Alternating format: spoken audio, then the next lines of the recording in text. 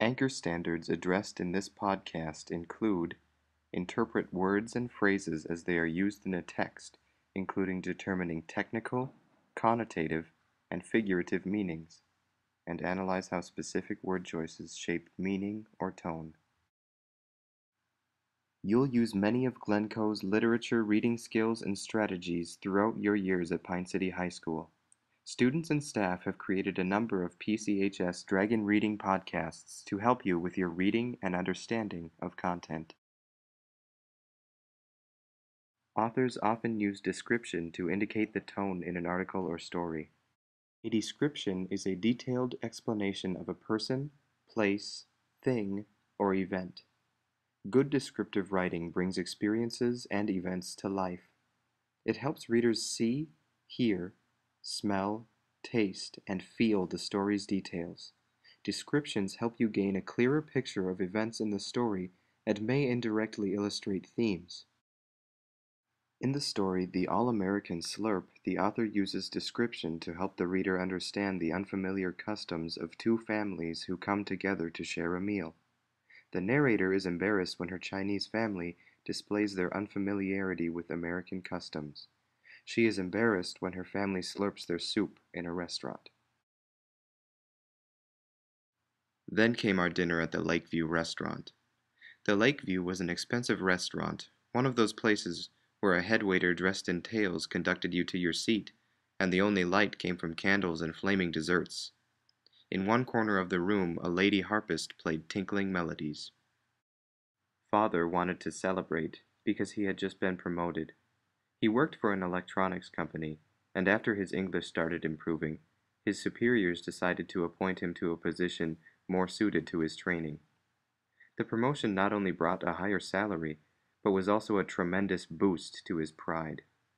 Up to then, we had eaten only in Chinese restaurants, Although my brother and I were becoming fond of hamburgers, my parents didn't care much for Western food, other than chow mein. But this was a special occasion, and father asked his coworkers to recommend a really elegant restaurant. So there we were at the Lakeview, stumbling after the head waiter in the murky dining room. At our table we were handed our menus, and they were so big that to read mine I almost had to stand up again. But why bother? It was mostly in French anyway. Father, being an engineer, was always systematic. He took out a pocket French dictionary. They told me that most of the items would be in French, so I came prepared. He even had a pocket flashlight the size of a marking pen. While Mother held the flashlight over the menu, he looked up the items that were in French. Passe en cru, he muttered. Let's see, passe is paste, cru is crust. Hmm, a paste in crust. The waiter stood looking patient. I squirmed and died at least fifty times. At long last, father gave up. Why don't we just order four complete dinners at random? he suggested.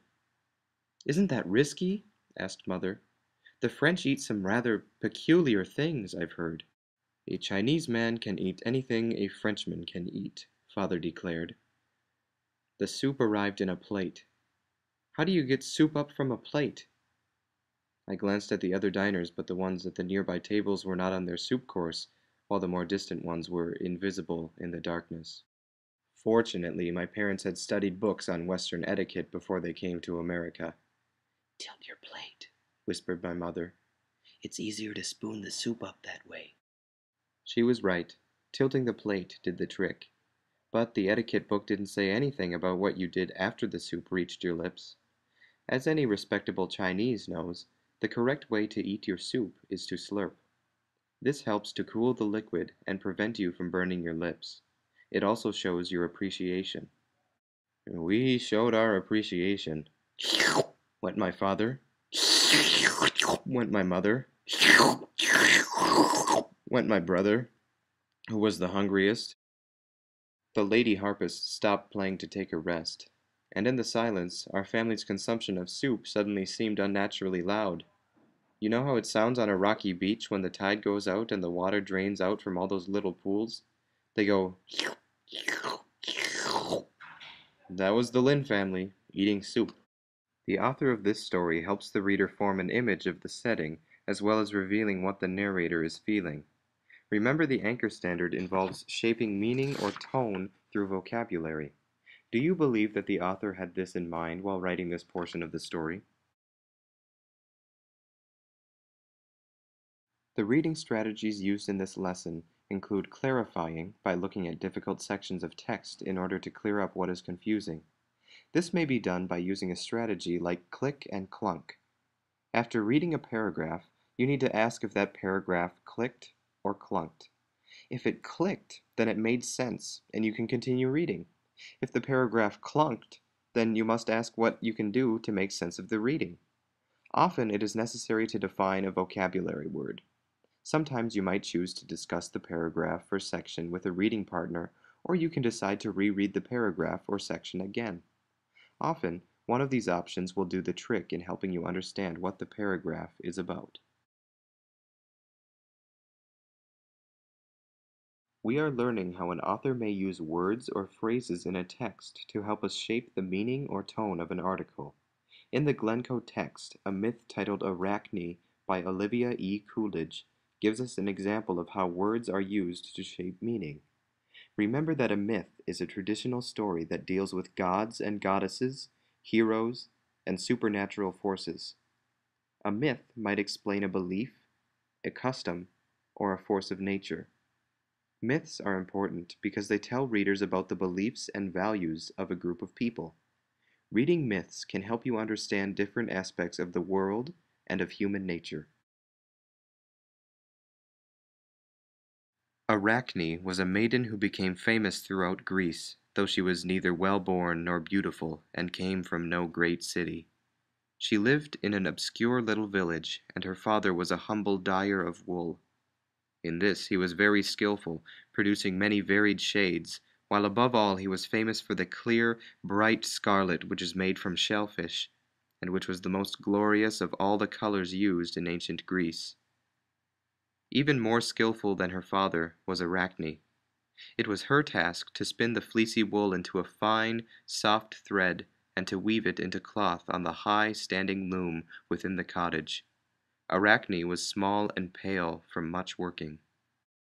Her eyes were light and her hair was a dusty brown, yet she was quick and graceful, and her fingers, roughened as they were, went so fast that it was hard to follow their flickering movements. So soft and even was her thread, so fine her cloth, so gorgeous her embroidery, that soon her products were known all over Greece. No one had ever seen the like of them before. At last Arachne's fame became so great that people used to come from far and wide to watch her working. Even the graceful nymphs would steal in from stream or forest and peep shyly through the dark doorway watching in wonder the white arms of Arachne as she stood at the loom and threw the shuttle from hand to hand between the hanging threads, or drew out the long wool, fine as a hair, from the distaff as she sat spinning. Surely Athene herself must have taught her, people would murmur to one another. Who else could know the secret of such marvelous skill? Arachne was used to being wondered at, and she was immensely proud of the skill that had brought so many to look on her. Praise was all she lived for, and it displeased her greatly that people should think anyone, even a goddess, could teach her anything. Therefore, when she heard them murmur, she would stop her work and turn round indignantly to say, With my own ten fingers I gained this skill, and by hard practice from early morning till night. I never had time to stand looking as you people do while another maiden worked, nor if I had, would I give Athene credit because the girl was more skilful than I. As for Athene's weaving, how could there be finer cloth or more beautiful embroidery than mine? If Athene herself were to come down and compete with me, she could do no better than I. One day when Arachne turned round with such words, an old woman answered her, a grey old woman, bent and very poor, who stood leaning on a staff and peering at Arachne amid the crowd of onlookers. Reckless girl, she said, how dare you claim to be equal to the immortal gods themselves? I am an old woman, and have seen much. Take my advice, and ask pardon of Athene for your words. Rest content with your fame of being the best spinner and weaver that mortal eyes have ever beheld. Stupid old woman, said Arachne indignantly. Who gave you a right to speak in this way to me? It is easy to see that you were never good for anything in your day, or you would not come here in poverty and rags to gaze at my skill. If Athene resents my words, let her answer them herself. I have challenged her to a contest, but she, of course, will not come. It is easy for the gods to avoid matching their skill with that of men. As you read this myth, you can feel the tone of the story take shape. The two characters are in competition with one another, and as the story progresses, you might predict that they will have to come up with a way to resolve the conflict.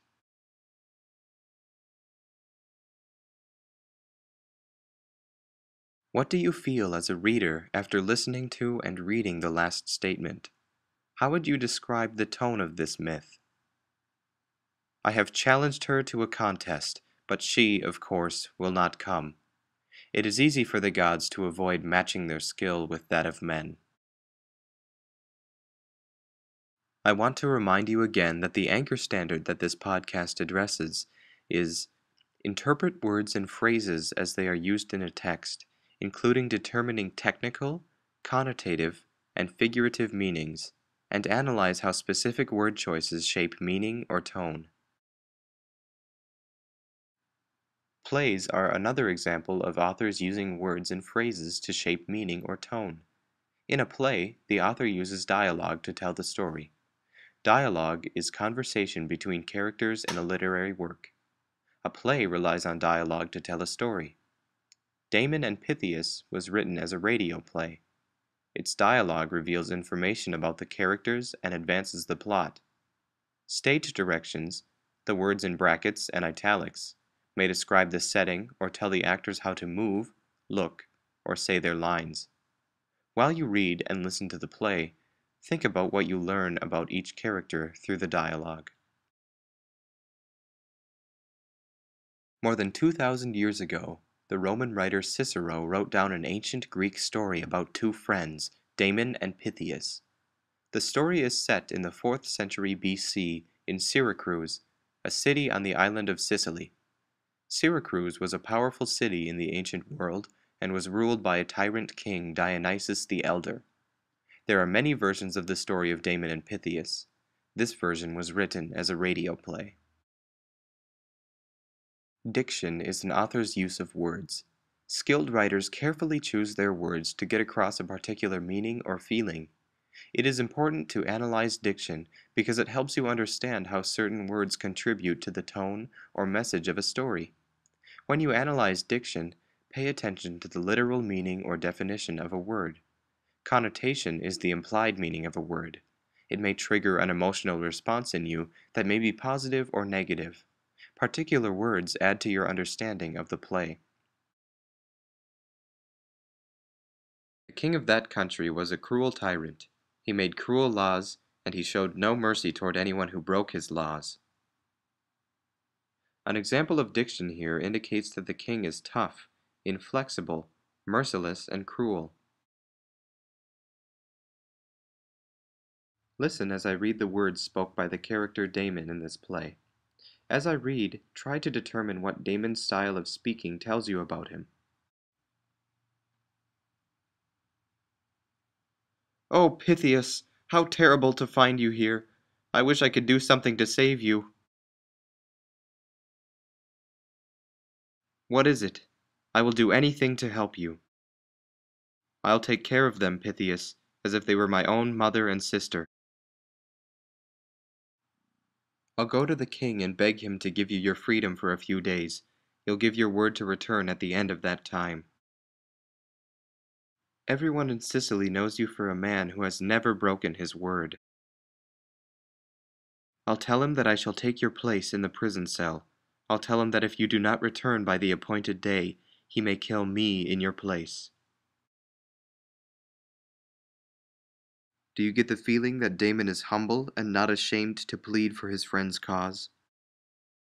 The anchor standard that was addressed in this podcast included interpret words and phrases as they were used in a text, including determining technical, connotative, and figurative meanings, and analyze how specific word choices shape meaning or tone. Hopefully, you now have a deeper understanding of the skill and can use the skill when you are reading articles for classes you are taking or in reading that you are doing for enjoyment.